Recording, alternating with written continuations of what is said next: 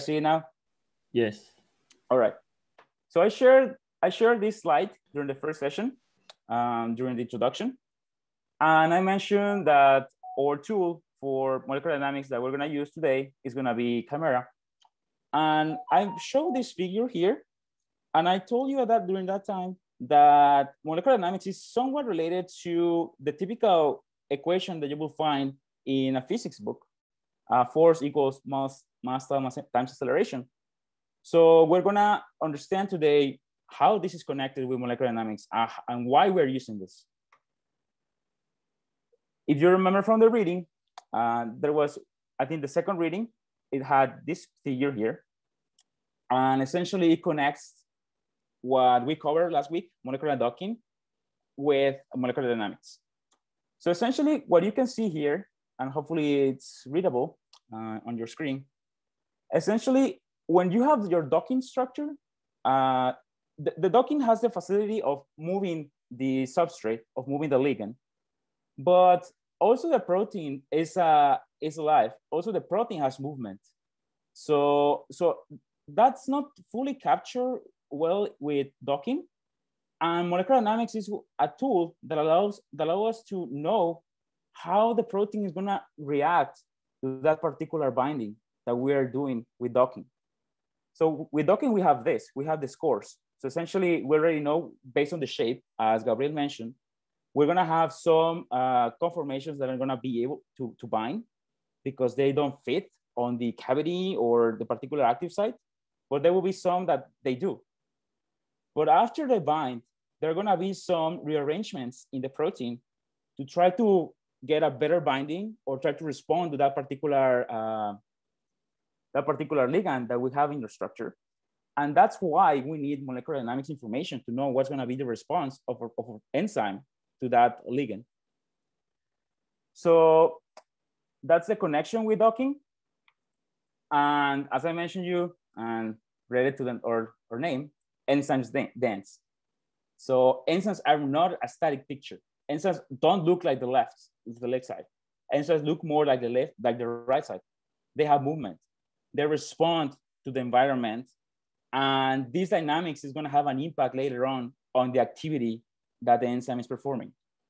So that's why we really need to understand or try to try to have a guess of what's happening in our, in, in our enzyme um, and also how it responds to the environment. We really need to do, or we really need to understand how our enzyme works, how our enzyme dances.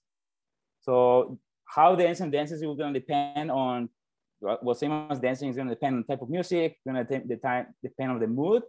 So the type of music can be kind of like the environment they are in. So if they're in a, in a very crazy environment, of course they're going to move more. Uh, if if the if the, the enzyme doesn't feel good at, during in that environment, of course it's going to move too much, and so on.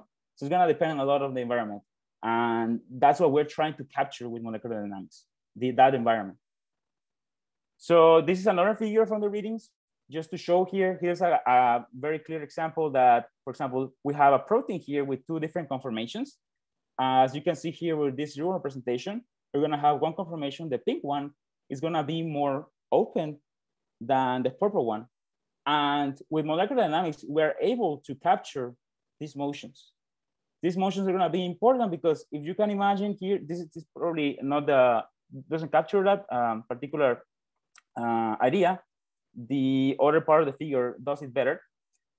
Of course, in, in the pink uh, conformation, you're gonna have a, a cavity that is bigger.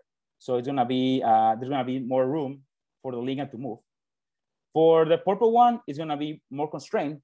And of course, that will impact on how strong the binding occurs. That's something really, really cool that we can get uh, from molecular dynamics, essentially how the cavity is gonna change and how the how the docking how the ligand is going to respond to that to those cavity changes. And here, let's try to contextualize where molecular dynamics fit into what it's called the big idea of molecular models. There are many different types of molecular models. So molecular dynamics is one of the most common ones and more popular ones, given the uh, given the particular power that you can you can have with it, the things that you can model.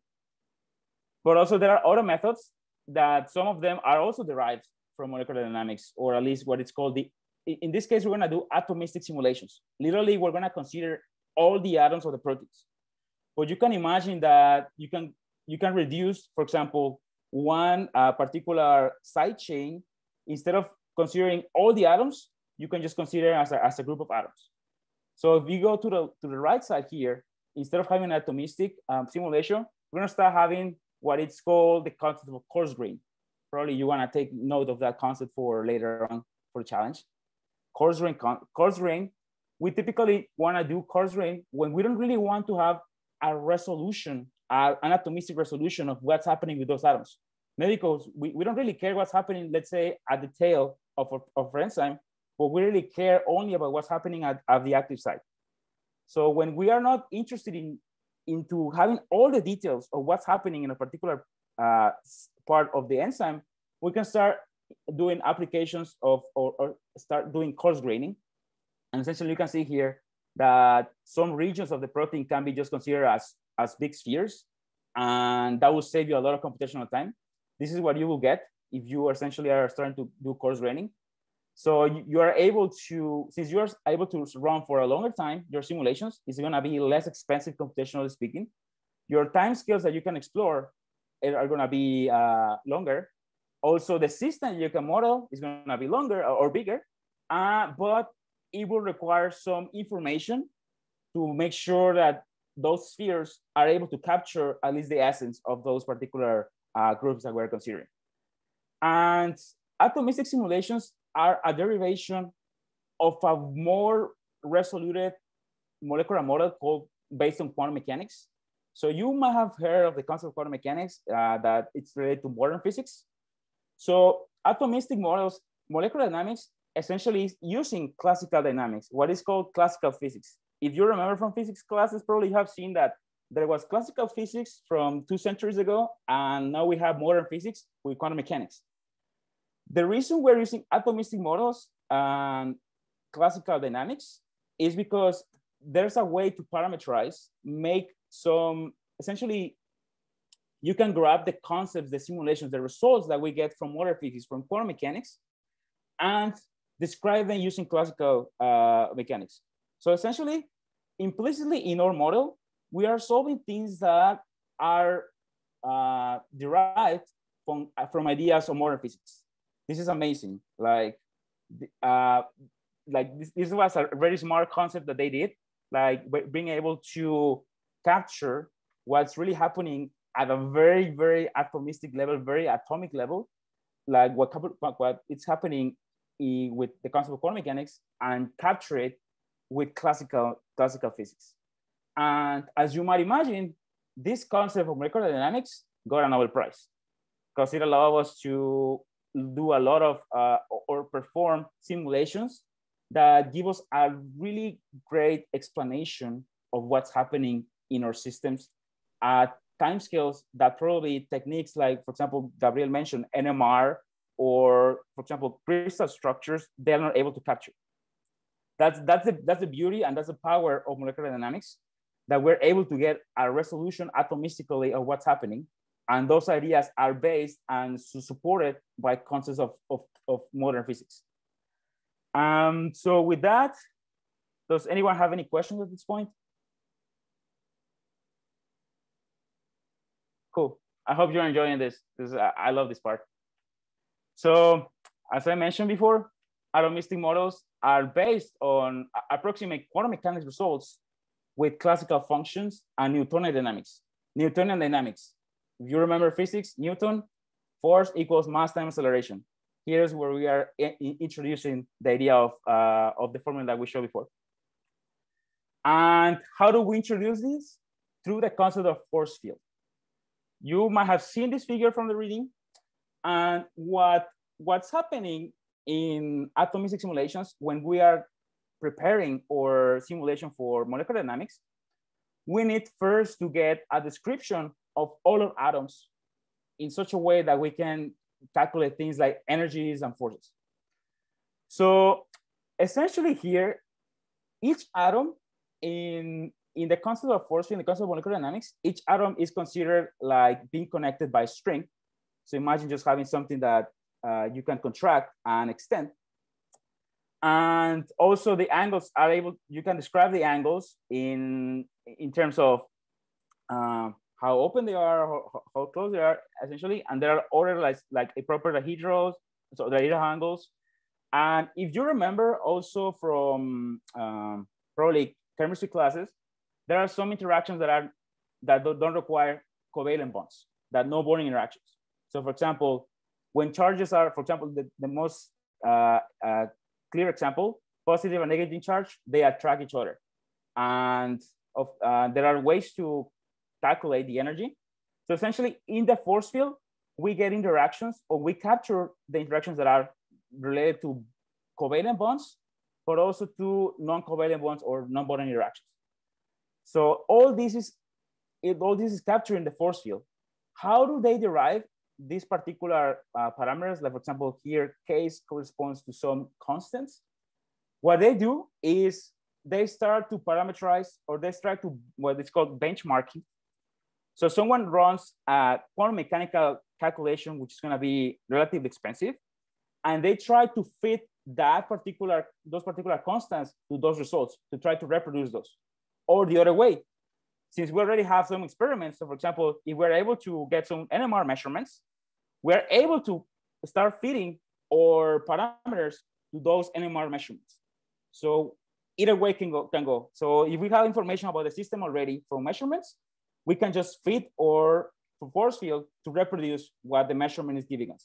If for some reason we don't have a measurement, then we can go to the concept of quantum mechanics and try to fit our parameters to those calculations that we're doing that are more expensive. So uh, one example, so a few examples of force fields. Forces is a zoo. Uh, so what, what, what I mean with this is that there are tons of force fields. Literally, like you can even create your own force field if you want. And because of that, you're gonna see in the literature, if you start reading and entering more into molecular dynamics, you will start to see force fields like amber, CHARMM, GROMOS, OPLS, and there are many others that I don't include here, but they exist. And essentially, the reason there are a lot of force fields is because, of course, of course, of course each group tried to work on their force fields, and then uh, unfortunately, they didn't talk too much between each other. And that's the reason we ended up with a lot of force fields. But also, the way they parameterize is different in some cases. So that's why the force fields are typically not compatible with, within each other. It's not that I can just grab, let's say, one parameter from CHARMM and three parameters from amber.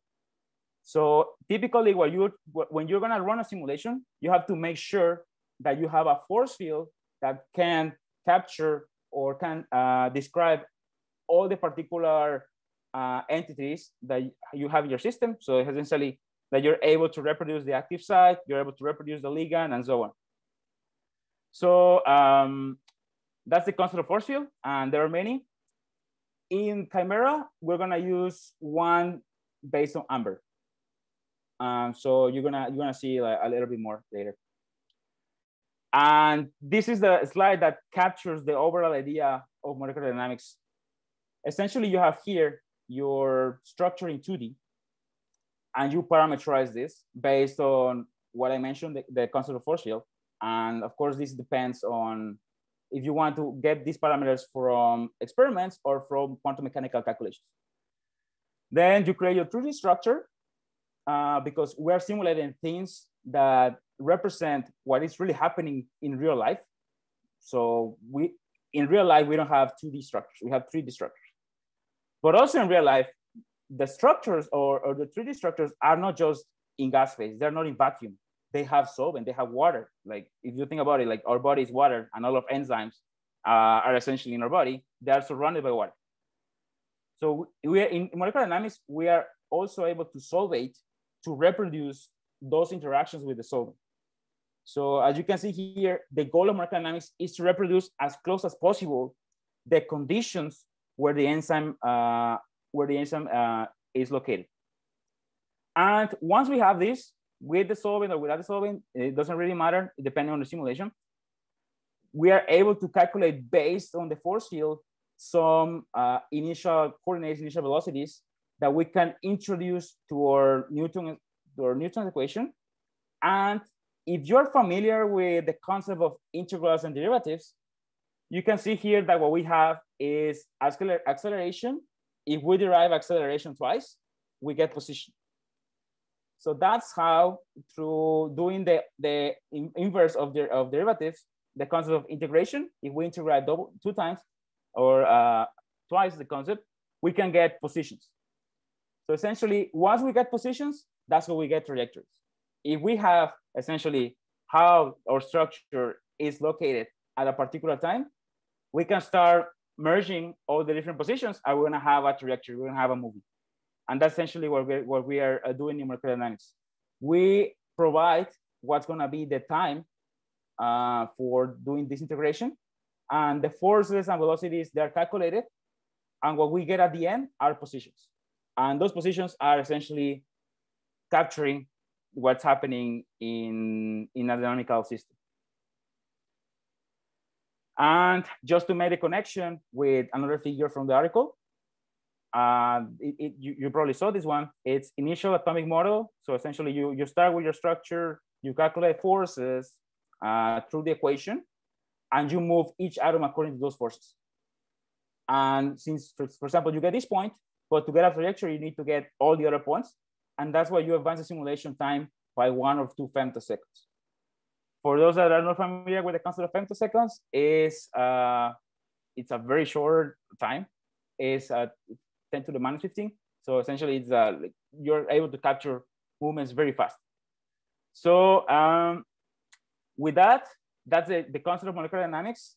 Does anyone have any question of essentially the, the workflow or of the, the concept of what molecular dynamics is doing?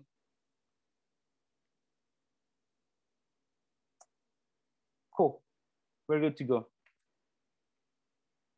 Now, an important concept of molecular dynamics is a conform is the concept of conformational sample sampling or ensemble uh, ensemble structures.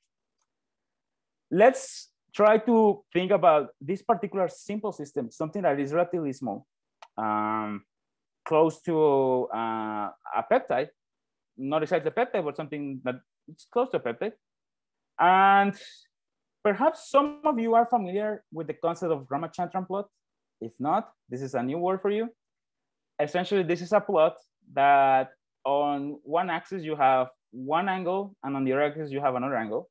And essentially you can describe all the different conformations of your system based on those two angles. And let's suppose that when you got your structure, your PDB file, let's say you got your PDB whether for experiments or you drew it for with a software, and the conformation that you got was probably number three. So you got number three. If you run your simulation for a very short time, since these other conformations are really close between each other, as you can see here in this plot, you're gonna be able to sample them. So you're gonna be able to visit those conformations with molecular dynamics. But perhaps something really cool happens in the conformations four and two, or maybe in seven. And if we don't run the molecular dynamics for a long time, for, uh, for a time that is reasonable, we won't be able to visit those particular conformations. That's what is important with molecular dynamics. We don't run just for like, uh, let's say, uh, two femtoseconds, 10 femtoseconds, 100 uh, femtoseconds. We run for a longer time because that allows us to do a conformational sampling. That allows us to visit these conformations and at the end get a better description of what's going to happen in our structure. So that's why in molecular dynamics, we tend to run for a long time in order to if we start from structure tree, we can visit all these different conformations that they might play an important role in our in our simulation, in our uh, interaction with the with the with the drug. Sometimes that, for example, maybe seven will won't be will be important. So it, it wouldn't matter if we don't visit the conformation number seven, but that would depend on we would we need to to have a justification of why not to visit this particular uh, conformation, for example. So yeah, that, that, that's, that's a concept of conformational sampling. And this is just a representation of the conformations through a Ramachandran plot, essentially just describing the conformations in terms of the angles And here is just describing the conformations in terms of energies. So what the conformational sampling allow us to do is we create what is called a simulation ensemble. So it's, let's imagine that we superimpose all those conformations. We superimpose number three, number six, number four, number seven, and so on. And that uh, particular ensemble that we create, that, that overlapping all those structures, is gonna give us a description relatively good of what someone who can get from, uh, for example, NMR measurement. So let's say if Gabriel goes to, goes to the lab and he's the expert in NMR, right? If Gabriel goes to the lab and he measures a particular protein, he can get the right side. And Gabriel can have a really good description of the protein at longer timescales.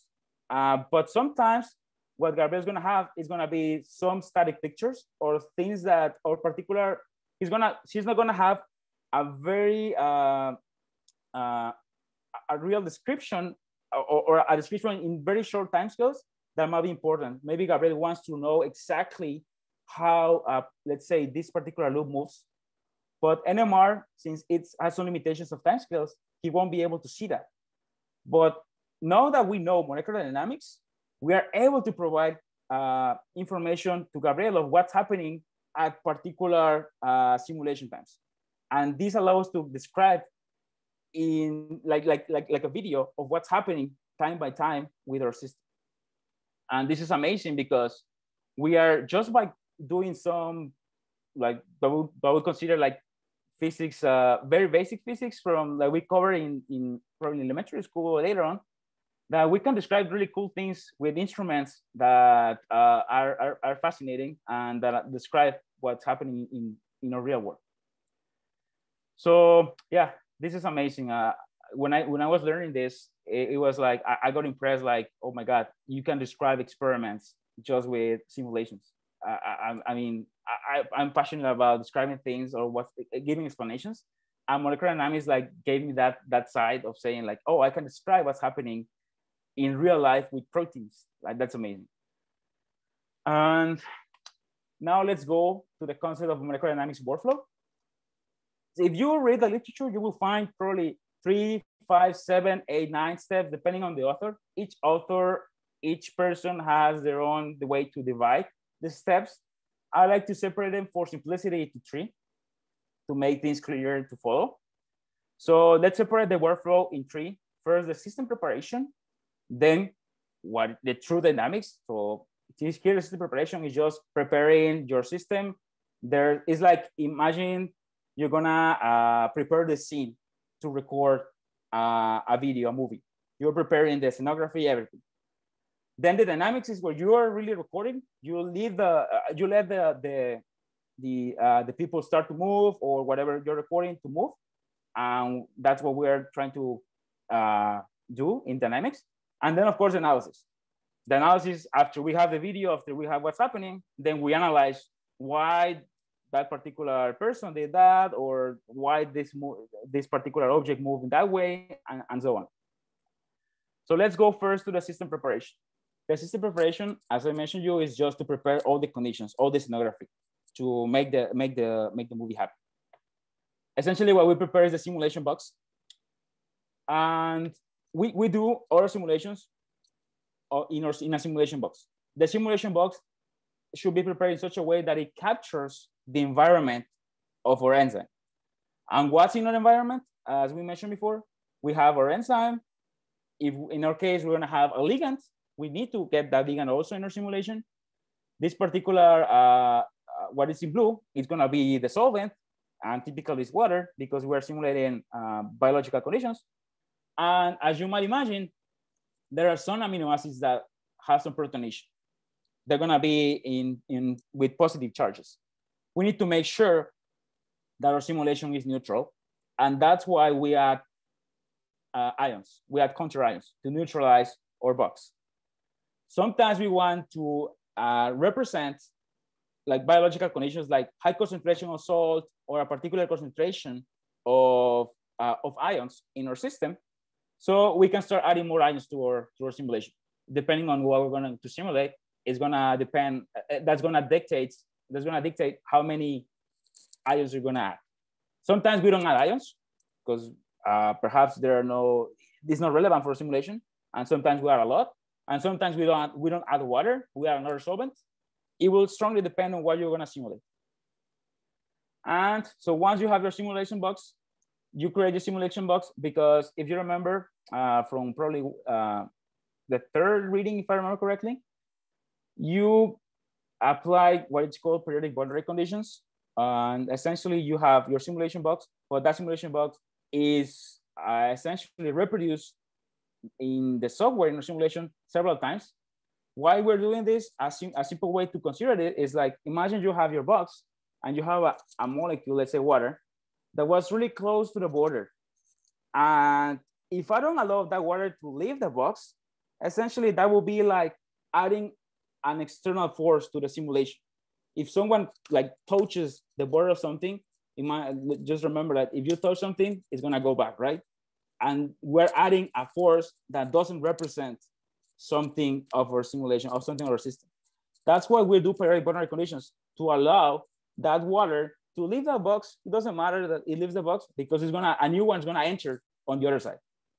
That's the reason we do periodic boundary conditions in simple terms, to not adding external forces related to like touching borders of our simulation box. So if we have a particle here that's gonna move, let's say a protein is moving here, um, for a particular uh, time, it crosses this part, uh, this border, it's gonna appear here on the other one. So don't worry, we don't have to worry about having a protein to move a, a lot around because that's what that's what periodic boundary conditions allow, allow us is to um, prevent adding external forces related to touching the borders and essentially uh, having having the, those interactions. Um, any questions related to this?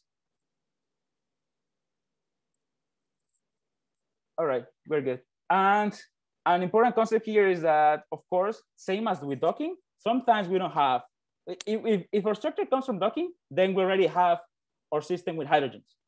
If not, of course, you have to add, and to prepare your simulation box, you have to add those hydrogens. Just remember that concept uh, because it's gonna be extremely important. And uh, then let's go to the dynamics workflow. This is the, the more technical one, the more technical section. And if you remember from the readings, there are several steps that you have to do. And also, if you remember the videos, there were like different tabs that you could start moving. The first one that you might have seen was energy minimization. We want to make sure, first of all, that if we added the hydrogens, those hydrogens are not like in positions that don't represent something feasible in, in nature. So imagine you have, you added a, a water, but we know that water has like the Mickey Mouse shape. Might imagine that we're a water that is very, very, very close to each other. It's not a Mickey Mouse shape, it's something like weird or something like a, a line that doesn't represent water. So with energy minimization, we're able to go from something that might be just like a, a like a line to that angle shape. So that's the concept of energy minimization. That's the, that's the reason we do it is because we don't want to start with a geometry that it doesn't make any sense uh, uh, for, for things that in nature, that in nature, they don't occur that way. What, one way to visualize what minimization is doing is ima imagine here in the y-axis, in the y-axis, we have energy, and in the x-axis we have steps. We, we run the simulation for several steps. And what we will see, if we're able to keep track of the energy, we will see that it's gonna start decreasing. Once that we say that the energy decreases and reaches a plateau, or like, a, let's say, a, a, straight line that is doesn't, doesn't vary too much on the y-axis, that's where we can say that we are minimized our structure we don't have to really go to a, a, extremely flat line as, as long as we have a something uh, with, with substantial change of energy, then we're free to stop the energy minimization. So typically we run the energy minimization by, for, for let's say, five, five, 5,000 steps, 10,000 steps, is, is typically a short, a short simulation. Then here comes the fun part. Because energy minimization, we are not doing any anything interesting actually this is this is done without temperature we are just like we are just minimizing something with no temperature with no pressure just reducing the energy based on on those geometries uh, just geometrical uh, constraints Then here comes two steps, and they call it uh, NVT, NPT. Those letters represent essentially what you're keeping constant in your simulation. So N means essentially the number of atoms. Of course, we, when we're doing a simulation, we don't want to suddenly remove an atom because that, that wouldn't make any sense. So that's why we want to keep the number of particles, the number of atoms. And first, we want, we want to keep the volume um, just to simplify our simulation to, um, but, but then we, of course, we can later, later uh, modify the volume. And we wanna, we're gonna have, we want to reach a point where the temperature is constant.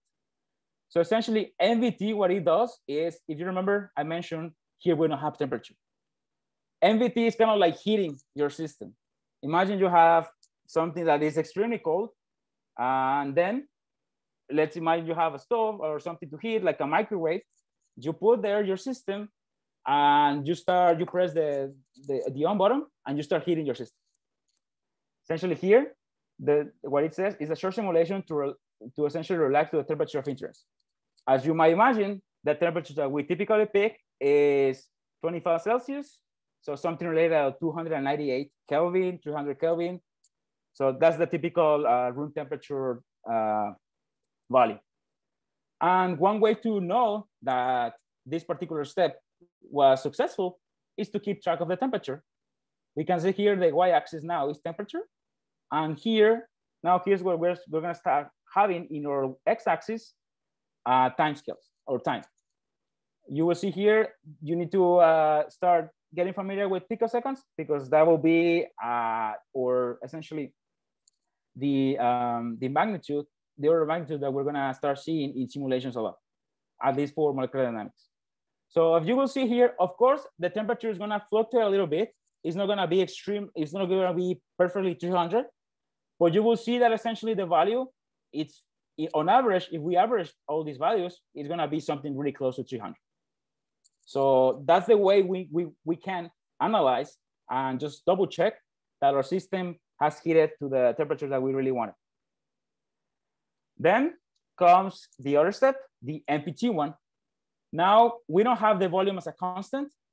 We have the pressure as a constant or something that we want to keep fixed or something like to keep a particular value. Here we are able to, or we are allowing our system to change the volume. But uh, we have temperature right now at 300. We have a temperature now at 500 uh, uh, degrees. Now we want to have also our system at atmospheric pressure.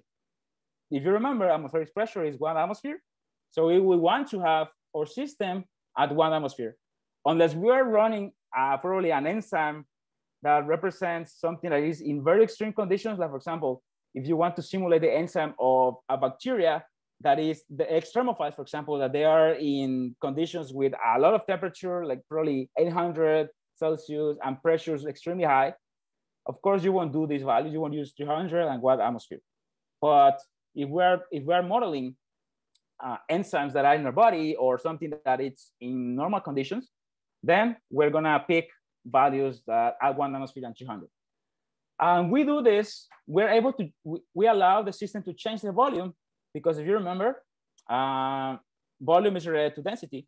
We want to make sure that our system is in a simulation with a proper density.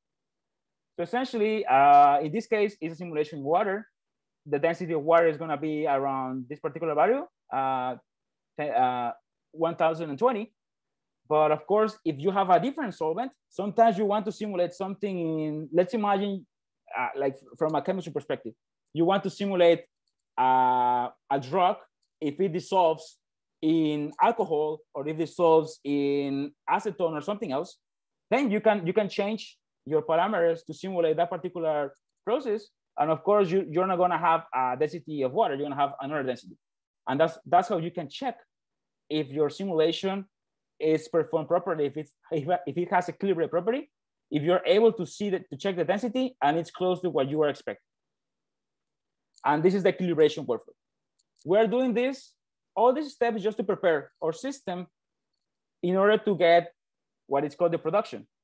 We don't, I mean, we do this just to prepare our system, But when we are, when, so for, to do the analysis, that information comes completely from the production. This was only to get the right temperature and the right pressure. So that will give you also the right density.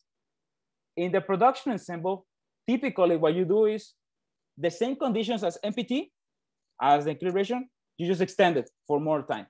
So let's say here, we're showing, we run this simulation for 100 picoseconds, just to equilibrate.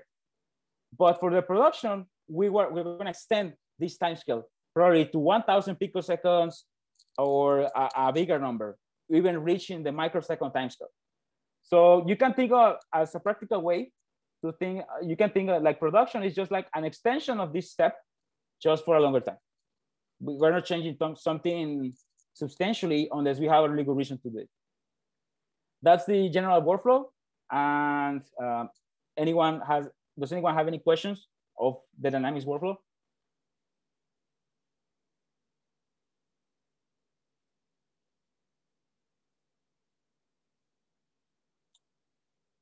All right. So then comes the third step, the analysis.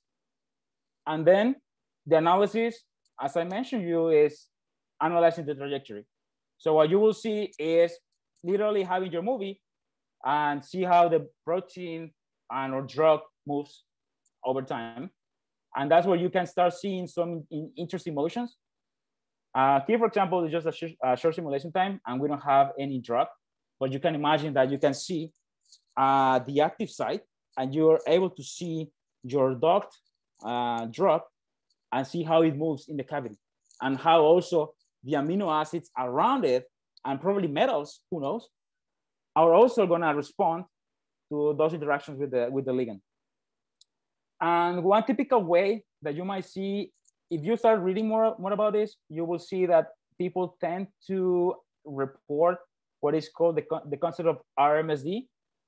If you're familiar with, with some um, statistic concepts or like uh, if you have seen some statistics, this is, RMSD means root mean square deviation. So it's, think of this as essentially comparing how different two structures are. So let's say we take a picture of yourself right now. Literally, we just uh, touch or screenshot bottom and we leave it like that.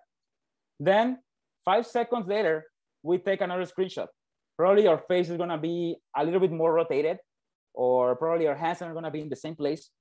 And if we compare those two, the way to compare it is through how different each position of all our pixels of our image are different.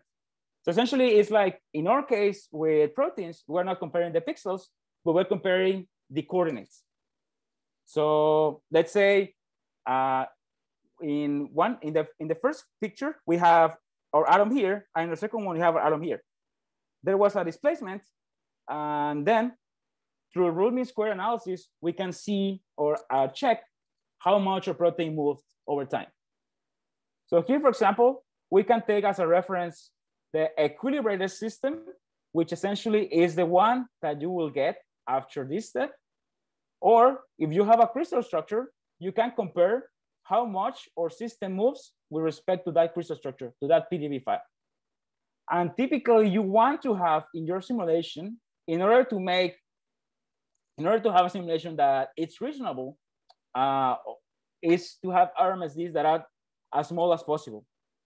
Because you don't want to have a conformation that deviates a lot from the crystal structure, unless perhaps you want to get to find conformations that are extremely interesting. For example, if you go to this particular plot, and let's say if you are sampling all this area, you will see that RMSD is gonna be small. But perhaps you want to visit this number seven, and you will probably see in your plot that you're gonna have some spikes and some RMSD values that are too high.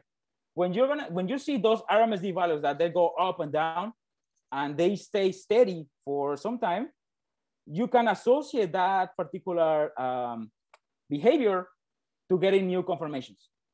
So if you think about it, think about this RMSD, if you see a plot that first is kind of like steady for a particular value, then it goes up and stays there for a couple of, nan of picoseconds or nanoseconds, and then goes down, we can relate that to essentially having first a conformation, then we visited another one, and then we're going back probably to the, to the initial one or a new one.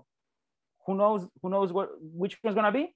Based on the plug, it's hard to tell, but if we check the trajectories, it's gonna be easier to detect if we're having a, a, different conformation or not. Uh, any questions about this analysis?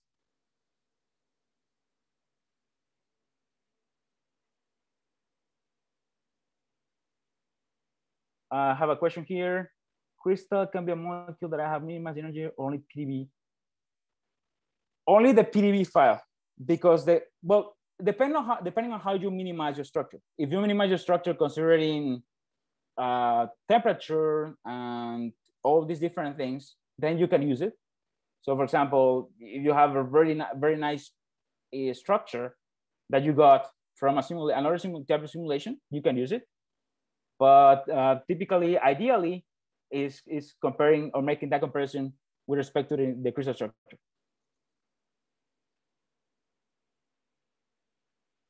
Okay, so this is the analysis. And there are a lot of different things that you can analyze. Here I'm just showing the RMSD, but you can analyze distances, you can analyze how much the, the ligand um, moves. How, uh, so for example, let's say there's a hydrogen bond between your active site and your and your uh, and your drug. Maybe you want to see how many times that hydrogen breaks.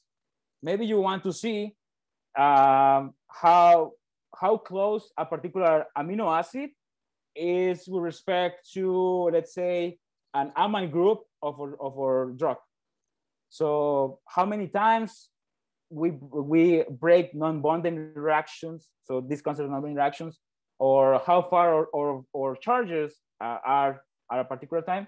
So you can think about the analysis. There are a lot of different things that we can analyze. Here we're showing the RMSD because this is the typical parameter that you check uh, for, for analysis to see if everything is fine. But for your particular goal, you will see that a Chimera and in other different software, there are other things that you can get, other types of information that are gonna be extremely useful. So uh, this is analysis of trajectories, but if you remember from the, the readings, there are other things that MD can do, not only trajectories. In docking, we can have scoring values. So we can have, those scoring values are somewhat related to how good the binding occurs to your active site. But sometimes it's better to have something more or something that we can really compare to measurements. And what we can compare is what is the concept of what is called the concept of uh, free energy of binding. That's something that people can measure actually in, in the lab, measure uh, with experiments. So we are instead of having someone and do the measurement, we can predict that binding energy. And we can do that through molecular dynamics. This is a workflow that shows how that works. Essentially, uh, it's several simulations that you have to run.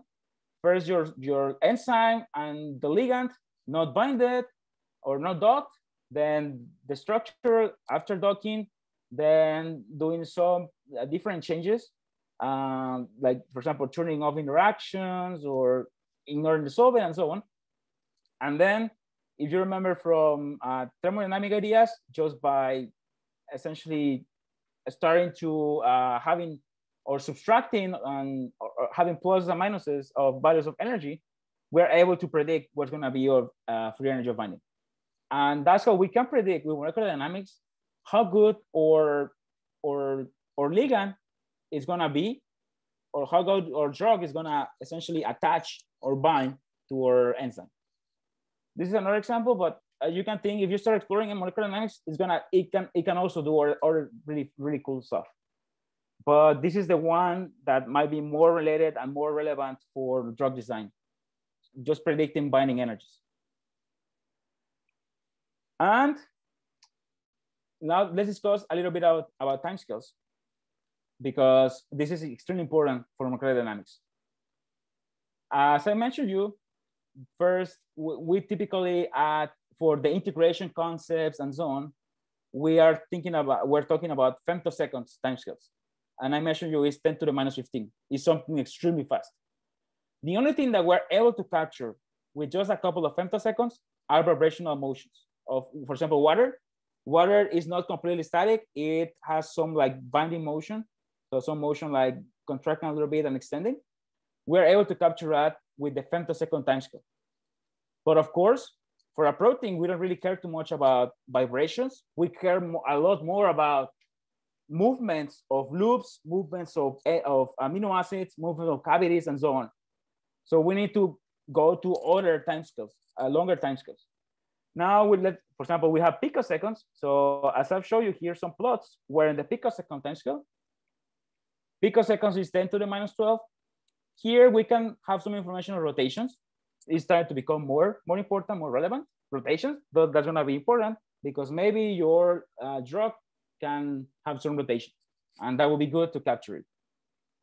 But rotations are still lacking resolution or description of protein structures, like for example, helical folds. If we want to have helical folds, we need to start increasing our timescales. So going to the nanosecond timescale or even the microsecond timescale. Uh, so um, other things that are around this timescale are hairpin folds, loop dynamics, if our loop's gonna move or uh, do some interesting movement, and doing docking in real time, for example, literally instead of starting with our dock structure, we can start with our, our drug separated from, from, the, from the active site and model essentially how our drug is gonna start exploring the surface or, or, or the active site and then bind. We can also do that. Uh, but of course, you can imagine that that's gonna take a longer simulation time. So we're talking, we're kind of like making a trick of saving some time of preventing to simulate all that process of how the, the structure binds. And we start probably just, we start already with the dock structure. But in, perhaps we don't want to have that as a starting condition, then we can simulate that, that dynamical process. And an important concept, not, not actually speaking related to drug design, but as people related to biological fields, protein folding. This is an amazing concept. And uh, it will be extremely great, uh, like fantastic to simulate protein folding. But one of the current limitations right now, um, just besides perhaps the force fields might not able to capture these dynamics, is that in order to get protein folding, we need to go to timescales of seconds. And for a computer, at least for the computational resources that we have nowadays, reaching second timescales is extremely hard. Literally, we can just, if we start running a simulation time here and we want to run for seconds, we might, we might probably wait for even years. It's really hard. I mean, it's really hard to reach those timescales. So that's why we typically limit ourselves, not because we don't want to explore these timescales, but, but because we don't have the resources to do that, to explore nanosecond, microsecond timescales. But if you remember from the first slide, or second, third one, if we use the concept of coarse graining, that's how we can start exploring those timescales. So essentially, we want to explore things on the above the microsecond timescale. We can start using the concept of coarse graining. So it won't be an atomistic simulation as we were covering here, but still we will be able to get some information of dynamical processes at that timescale. And just to explain what this means, there are a lot of tricks to uh, see these particular motions without literally uh, waiting for a long time uh, to see this phenomenon. So there are techniques that people have developed that it's called enhanced sampling methods, enhanced sampling MD simulations, where you make some tricks to make your simulations or make, make simulations to happen faster without losing the true dynamical uh, or the true trajectories that we have. And one typical example, let's think about this. If, if we think about energy, energy is related to temperature. So if we have a temperature of 300 Kelvin or 25 Celsius, most of the uh, dynamics going to happen on this, on this particular uh, conformations. What if we run our simulation, let's say not at 300, but at 600, at 600, at 600 Kelvin?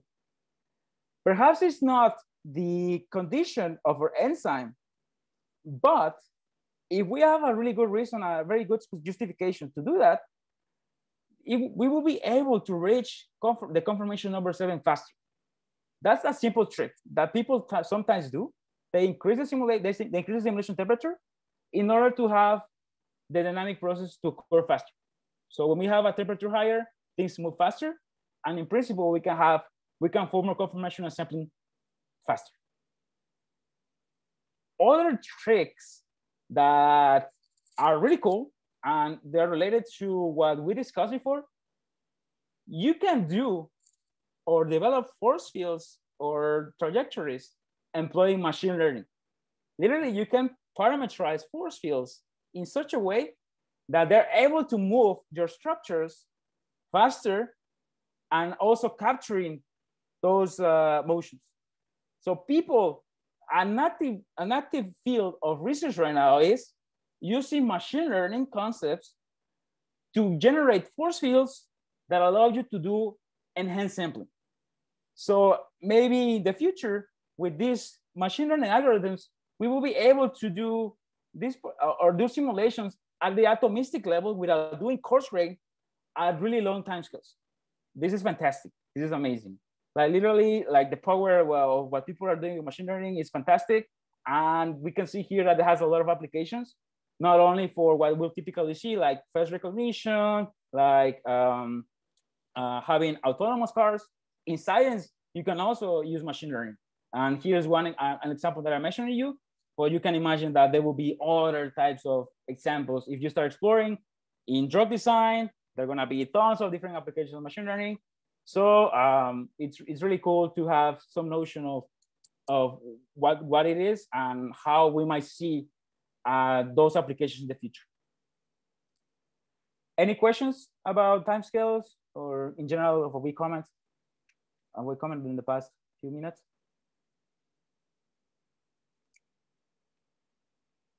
Denaturation, yes, you can in principle study denaturation. That's uh, that would be really cool to do, but of course for denaturation we will have to reach really long timescales. So it will, it will be a little bit hard. But maybe we can do denaturation simulations based on temperature. Maybe your protein is gonna denature at 400 Kelvin. In principle, we, we will be able to do that. But we have to make sure, or, or something that we have to keep present is that denaturation, well, we're gonna break non-bond interactions. Molecular dynamics is not able to model things that involve breaking covalent bonds. That's one of the current limitations right now. But you can think of um, you can think of combining if you really want to simulate things where bonds break you can think of combining a particular section with a quantum mechanical description and then the rest of your system with molecular dynamics so if we have a section that we can model with quantum mechanic quantum mechanical methods that it's gonna be able to describe uh, bond breaking. And that will also be able to describe, for example, if we have a metal, maybe there are some enzymes that when you bind a drug, when you bind something, they change the oxidation state. So for example, iron, we have iron, we have mag magnesium, manganese, etc. Sometimes when you bind something, the charge changes.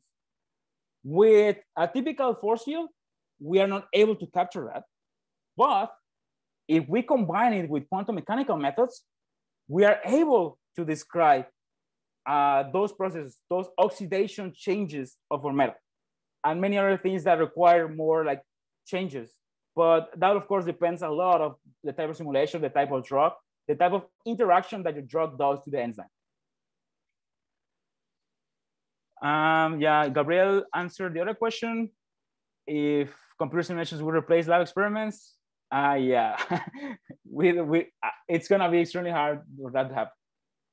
I mean, of course, it's gonna, of course, uh, molecular simulation is gonna give you very accurate descriptions that you can let it corroborate. But, but of course, experiments are what's happening in real life. And sometimes the simulation, if we don't run experiments, we will never know if our simulation is right or wrong. We need to corroborate somehow with experiments. And there are other things of simulations that probably uh, there are things that happen in, in real life that in simulations not. For example, if you are simulating a membrane, it's gonna be really hard to capture all the things that are happening in a membrane that in experiments you can do. And how accurate is MD? It's extremely accurate. And that's the reason that a lot of people spend several, several years, uh, months of research, uh, of research time developing the forces because they're, they want to make sure that the force field really captures what the experiment is going to give you. So they're extremely accurate. What you what you measure or, or what you get from a force from, from a molecular dynamic simulation is going to be very accurate, unless the force field is bad. So you have to you have to be sure when you start a simulation that the force field is able to describe their system properly. So yeah, Gabriel uh, answered already that question. So yeah, I mean, that's uh, any other question? Because that's essentially the last part of the theoretical um, section. I know we spent a lot of time, but hopefully it was clear what all what molecular dynamics can do.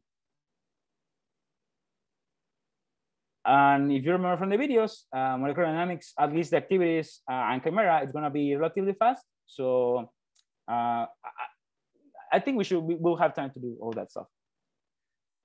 Um, just for you that want to get deeper into the concept of molecular dynamics, uh, today we're going to use Chimera, but as you will see, or if, you saw in the videos and if you have explored a little bit, Chimera, it's a little bit, it has some limitations. There are a lot of things that you can't change. So as for introduct for introducing the concept and see how we prepare uh, how the workflow flows, Chimera is perfect. But you might imagine that um, it's gonna it, it will have some limitations because there are different enough things that we can change. So for example, Chimera, we can change the force field, or there it, ha- it only have some several force fields, but maybe you want to use a new one, and Chimera doesn't have that option. There are other software that I know some of you are going to start working uh, also for thesis project related to molecular dynamics. You might have used other software like NAMD, NAMD, uh, Amber is not only a force field, Amber is also software. It's not the same for Amber force field as Amber software. GROMACS, or maybe eventually you will work with something that involves solids. We can also do raw molecular dynamics for solids or some semiconductor things or some interfaces of, uh, for example, biosensors. When you have uh, a, a, part that is a semiconductor with a part, another part that is an enzyme, we, we may be able to do that, those type of simulations with software like LAMP, for example, LAMMPS. But there are many others. And if you are, if for, for some reason, uh, you have to work with some of this software and you want to have some introduction to the software, I will be happy to help you with that. In the past, I've used NAMD and GROMACS. So if you have you ever worked with this software and you have any questions, feel free to ask and I will be happy to give you an, an introduction and explanation of how you run things in NAMD or GROMACS. Because one of the really hard things in molecular dynamics, as you can see here, the concept of molecular dynamics, we can summarize it in one slide. This is the workflow. But unfortunately, when people were developing all this software, they developed in the way they wanted. So, so some things that you have to do for NAMD, for example, are gonna be different in GROMACS. Some files that you're gonna use for NAMD, they don't exist in GROMACS because they, for example, in NAMD you use two files, in GROMACS you use one file, and so on.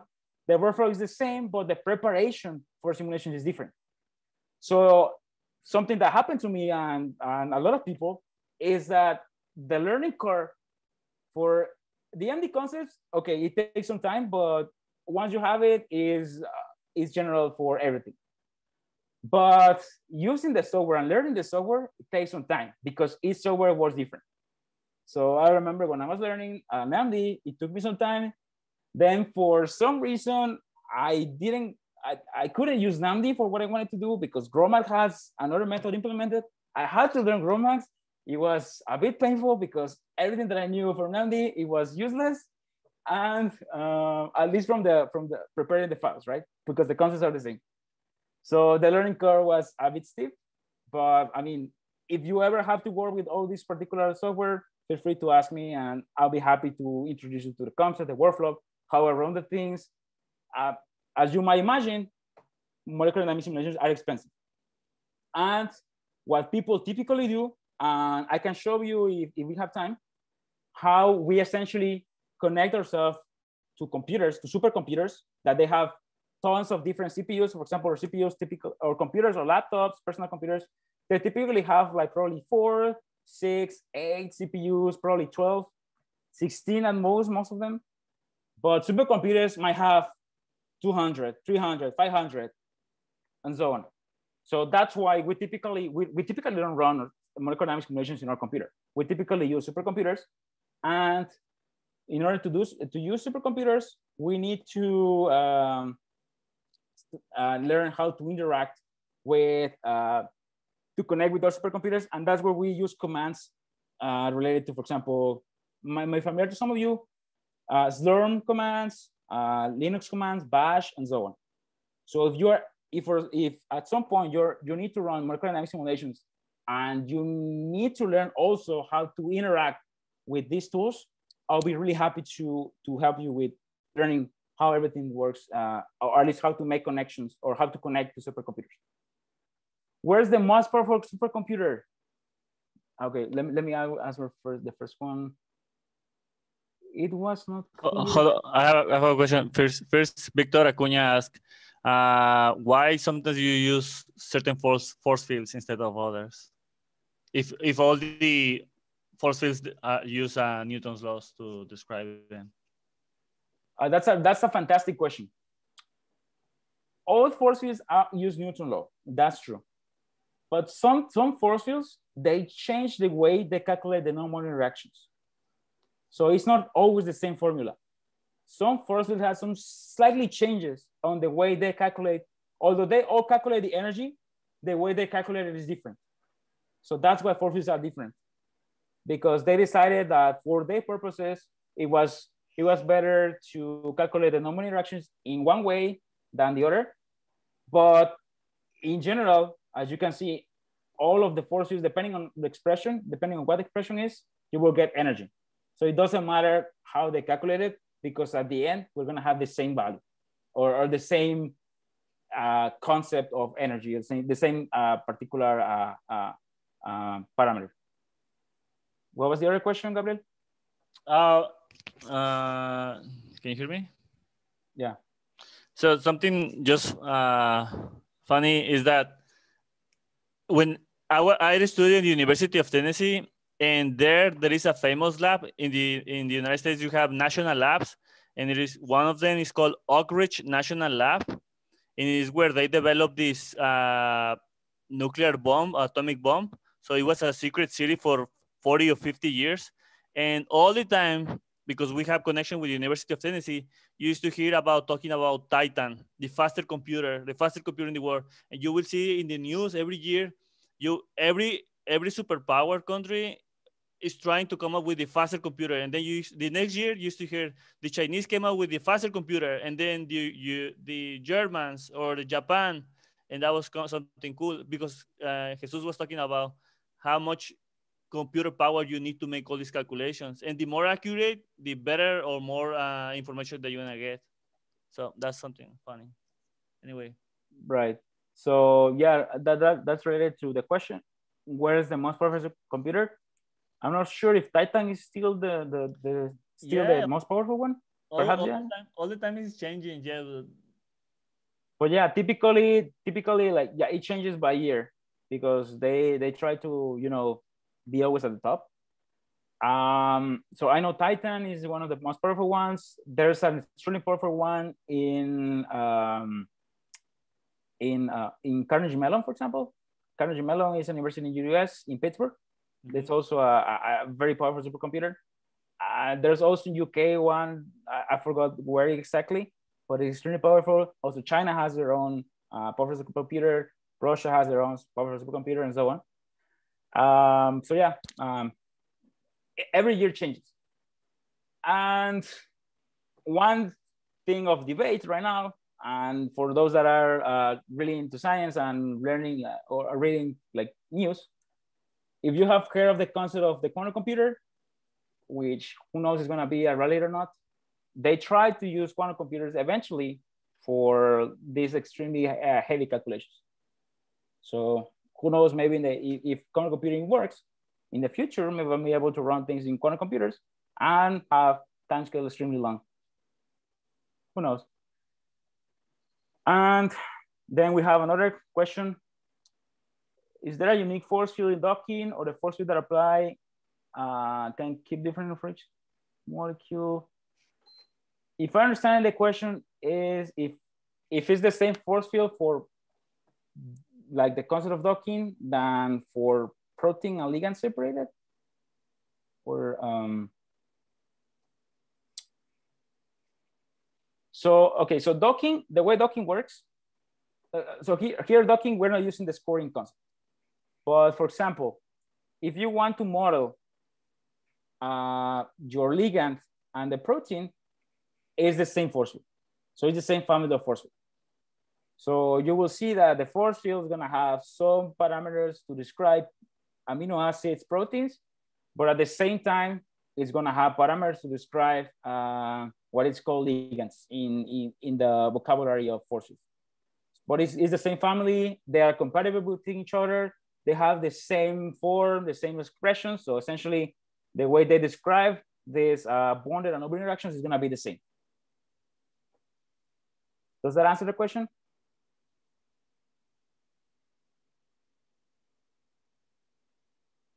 All right. Yeah, so once you pick the force field, essentially it's kind of like that's that's the that's the part where you need to spend a little bit of time analyzing if the force field is able to describe properly your protein and your ligand. If for some reason you don't have you have a force field that describes perfectly the ligand, but not a protein or not at the active site, then probably you need to do something else uh, or parameterize your own force field.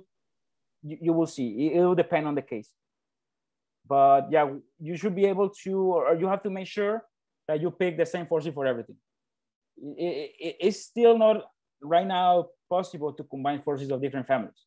So let's say it's, it's not possible to use um, CHARMM for the ligand and AMBER for this one or vice versa. It's not possible nowadays.